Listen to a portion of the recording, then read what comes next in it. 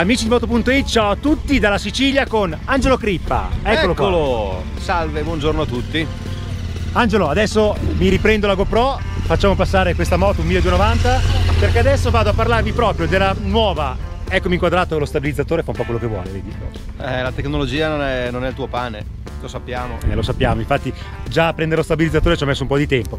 Eccola qua, adesso vi parlo in questa prova della KTM Super Adventure 1290 S, la nuova miraglia di Matti Gofen da strada, Max Enduro stradale, quindi non la R col 21 anteriore, che prende il posto della 1190 cambia totalmente il frontale lo vediamo subito col nuovo parabrezza più grande e soprattutto col faro. Vediamo l'anima centrale in alluminio e la cornice led e poi soprattutto il cornering light centrale con queste luci che si accendono a seconda dell'angolo di piega della moto. Proseguo nella vista per farvi vedere i nuovi convogliatori laterali che hanno un nuovo flusso dell'aria che serve a migliorare la stabilità della moto perché la KTM ha lavorato tantissimo per migliorare questo aspetto che era stato lamentato da diversi clienti. Parliamo della stabilità però ad altissima velocità con le borse, quindi ben oltre i limiti legali in Italia. Cosa è stato fatto? Abbiamo innanzitutto dei cerchi a razze al posto dei cerchi arance, nuovo cuscinetto di sterzo e poi per finire le borse basculanti che sono di sede sulla S e sulla T e sono optional invece sugli altri modelli e anche sui modelli precedenti ma non è l'unico lavoro, ho dimenticato una cosa fondamentale, KTM ha anche cambiato le gomme di primo equipaggiamento che sono Pirelli Scorpion Trail 2 che vanno veramente bene, poi ve lo racconterò direttamente dalla sella di questa moto. A proposito di sella, abbiamo sempre la sella regolabile su due, su due livelli, 850 o 870 mm, ma quello che fa impressione di questa moto è il pacchetto elettronico. Partiamo dalla strumentazione, TFT da 6,5 pollici realizzata dalla Bosch, è molto bella perché cambia a seconda della luce ma anche a seconda della velocità. Alle alte velocità il tacchino tachimetro diventa la parte principale. Eccola qui. Poi abbiamo sospensioni semiattive VP che possono essere regolate dal blocchetto di sinistra su vari settaggi, sport, street o rain.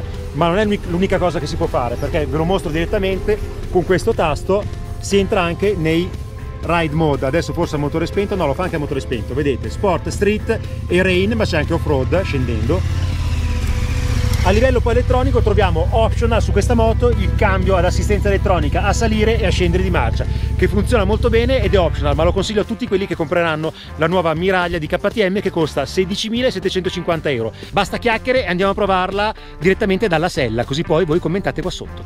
Ciao Arno! Ciao Andrea, allora ti stai divertendo? Divertendo, la moto è molto bella. Meno male, eh ma l'avevo già provata. Però secondo me per te questa è troppo potente. Ciao!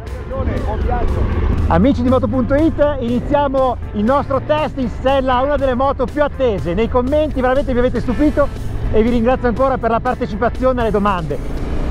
Passiamo a lei, è la KTM Super Adventure 1290S che prende il posto della 1190 e ha dei contenuti tecnologici veramente elevati perché la moto che sto guidando ha le sospensioni semiattive, il faro l'avete già visto, il faro LED, ma adesso vi parlo delle caratteristiche di guida sto seguendo il campionissimo del Super Mare Cross. Tanti magari sopra i 40 anni se lo ricordano. Vincenzo Lombardo.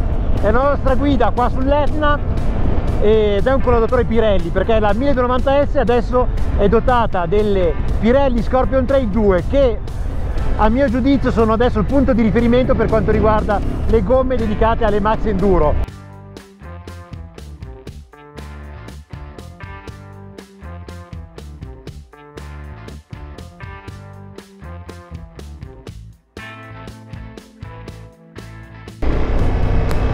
Inizio a raccontarvi dalla posizione di guida che è molto comoda, è cambiato il parabrezza che nella posizione bassa protegge discretamente ma col casco da cross che ho adesso fa passare tanta aria. Ma basta regolarlo alto vedete che qua questo pomello si regola anche a mano in un attimo sono protetto molto bene. Ho le manopole riscaldate che funzionano bene la nuova strumentazione TFT della Bosch che è spettacolare ha una reggibilità ottima. Al crescere della velocità i numeri del tachimetro diventano più grandi e il contagiri più piccolo. Questo per indicarci sempre la velocità il motore passiamo al 1290 perché mi avete chiesto in tanti. Qua ci sono i fotografi della KTM in tanti mi avete chiesto la trattabilità. Nelle domande su youtube e su moto.it vi dico subito che questo motore scende in sesta fino a 2200 giri. Considerate che la sesta è molto molto lunga. Ma con la terza e la quarta marcia per farvi un esempio ho visto che si può scendere fino a 1800 giri. È un motore molto trattabile vi ricordo che ha quattro mappe con la Rain e off-road abbiamo 100 cavalli con street e sport arriviamo a 160 cavalli a 8700 giri. È un motore molto potente adesso stiamo guidando in maniera fluida in discesa. Alla prima occasione vi faccio sentire la spinta in street poi optional e lo consiglio a chi comprerà questa moto abbiamo il cambio elettronico quick shift che funziona benissimo sia a salire che a scendere di marcia. È un cambio perfetto e già il cambio di questa moto comunque funziona bene. Vedete adesso scalo guardate la marcia qua indicata a destra terza seconda vedete appoggio il piede la cambiata è immediata. Adesso in uscita di curva. Seguite la marcia seconda terza quarta. È un cambio veramente efficace. Passo all'altra cosa che mi avete chiesto il calore della moto. Allora oggi qua sull'Etna ci sono 10 gradi calore non se ne sente ovviamente perché la temperatura è bassa e anzi ne vorrei un po' di più perché con i pantaloni da cross fa, fa abbastanza freddo. C'è da dire che il serbatoio protegge molto bene. Altra cosa che mi avete chiesto la stabilità alle alte velocità. Su queste strade abbiamo anche fatto dei percorsi in superstrada più veloci fino a 130 orari. La stabilità non ha dato problemi KTM ha lavorato tantissimo su questo aspetto con i nuovi pneumatici i nuovi cuscinetti di sterzo nel cannotto di sterzo per risolvere il problema. Qua attenzione alla sabbia. E poi ha lavorato anche sui cerchi non abbiamo più i cerchi a raggi sulla 1290S ma abbiamo i cerchi a razze qui c'è stato un lavoro poi anche a livello aerodinamico sui convogliatori. Insomma c'è stato tanto lavoro per risolvere questo problema. E noi per, per finire vi ricordo anche che adesso la 1290S insieme alla T montano le valigie basculanti. È un sistema fatto apposta per migliorare la stabilità alle alte velocità.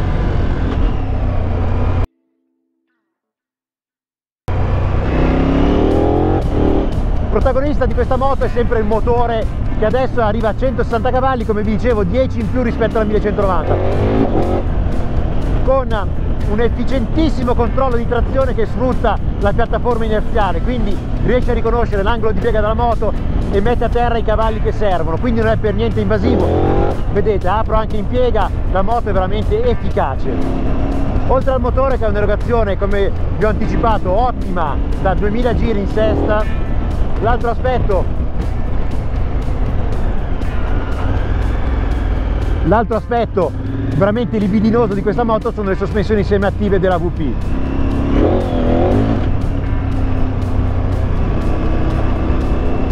che leggono veramente la differente impostazione che facciamo con questo tasto guardate qua è riding mode torno sul menu principale dumping adesso sono su sport ma posso passare a street velocemente e cambia subito la risposta, diventa più morbida, quindi c'è un comportamento molto efficace.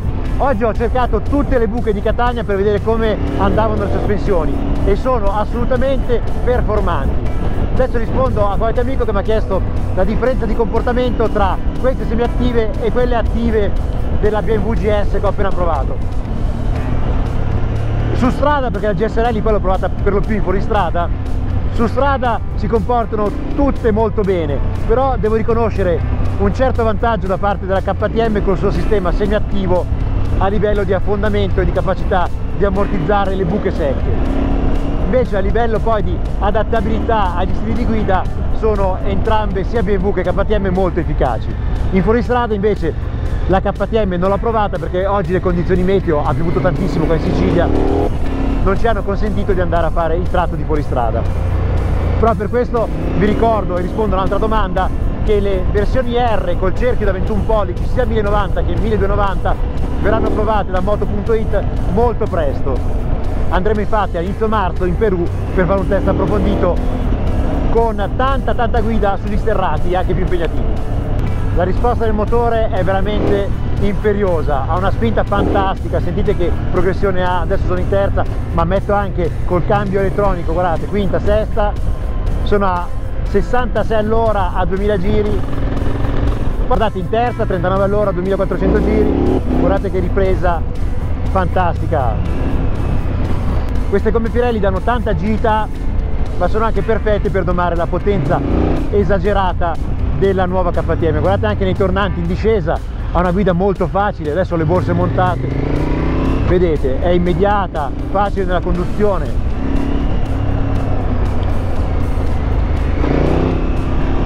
A chi mi chiede il test del cornering ABS, vi ricordo che il cornering ABS interviene in situazioni di emergenza, quindi in frenate al limite che si possono simulare soltanto in pista, non posso simulare una frenata d'emergenza motopiegata su strada perché non sarebbe certo un comportamento sicuro. La sella della 1290S è molto comoda anche sulle lunghe distanze e può essere regolata su due posizioni, a 870 oppure 850 mm, quindi si adatta anche ai piloti più alti. Vi mostro la temperatura, 11 gradi, questo numero non mi permette di darvi un giudizio concreto sul calore del motore, sulle gambe e sul sedere del pilota e del passeggero.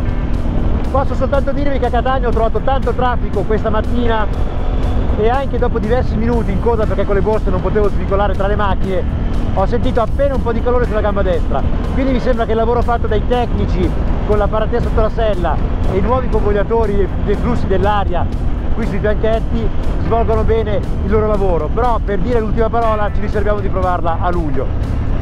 Sul fronte stabilità con le borse fino a 140 all'ora oggi la moto è andata dritta come un fuso. E con questo cambio marcia vi saluto e vi invito a commentare la prova sempre su moto.it e sul nostro canale YouTube, ma non solo, vi invito anche a visitare la bellissima Sicilia perché le strade intorno all'Etna sono fantastiche.